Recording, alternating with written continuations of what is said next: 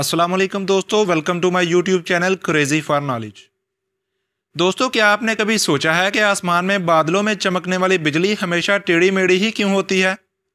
किसी और शक्ल में, जैसा कि बिल्कुल सीधी क्यों नहीं चमकती? आप में से तकरीबन हर किसी ने आसमान में बिजली को चमकते हुए ज़रूर देखा होगा।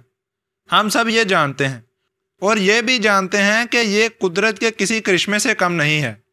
आसमान में जब काले बादल घिर आते हैं और बिजली चमकने लगती है तो चारों तरफ़ एक पल के लिए रोशनी ही रोशनी हो जाती है। आसमान में चमकती बादलों के बिल्कुल दरमियान में मौजूद ये हिला कर रख देने वाली बिजली किसी तेज धार आले की तरह मालूम होती है।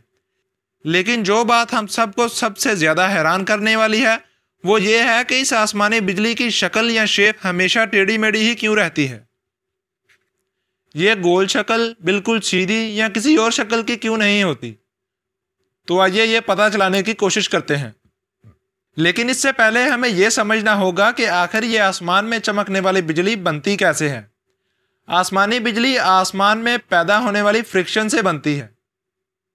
बादलों में पानी के कतरे मौजूद होते हैं, जबकि हमारी ज़मीन के मुकाबले में बादलों का टम्परेचर काफ़ी ठंडा होता है, जिसकी वजह से वहाँ मौजूद कतरे बर्फ़ की शक्ल इख्तियार कर लेते हैं, और जब इन बर्फ़ के कतरों का मिलाप ज़मीन से उठने वाली गर्म हवा से होता है तो एक फ्रिक्शन पैदा होती है। जिसके नतीजा में बिजली बनती है, जो आसमान में चमकते हुए दिखाई देती है। बादलों के भी दो हिस्से होते हैं, एक ऊपर वाला हिस्सा और एक निचला हिस्सा। ऊपर वाले हिस्से में नेगेटिव चार्ज होता है और निचले हिस्से में पॉजिटिव चार्ज ये दोनों चार्जेस ऑपोजिट होते हैं।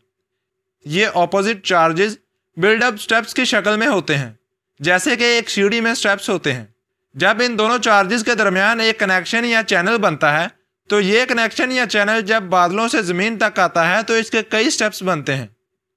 और ये स्टेप्स सीधे या गोल नहीं, बल्कि टेढ़े मेढ़े होते हैं, जिसकी वजह से बिजली टेढ़ी मेढ़ी ज़मीन तक पहुँचती है और टेढ़ी मेढ़ी दिखाई देती है। आसमान में मौजूद आयंस को ज़मीन तक पहुँचने के लिए टेढ़े मेढ़े रस्तों से गुजरना पड़ता है। और इसको इस तरह समझने की कोशिश करते हैं कि बिजली को बादलों से ज़मीन तक पहुँचने के लिए जो सबसे कम रास्ता है, उसमें से गुजरना पसंद है। बिल्कुल वैसे ही जैसे ऊपर चट्टान या पहाड़ से पानी नीचे की जानिब आता है तो पानी कम से कम रास्ता इख्तियार करके ज़मीन तक पहुँचता है और उसे टेढ़े मेढ़े रस्तों से ही गुजरना पड़ता है।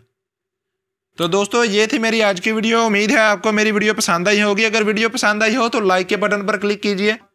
और अगर आपने अभी तक मेरे चैनल को सब्सक्राइब नहीं किया तो नीचे रेड बटन पर क्लिक करके मेरे चैनल को सब्सक्राइब कर दें। मिलते हैं अगली वीडियो में। तब तक के लिए मुझे इजाज़त दीजिए। अल्लाह हाफिज़।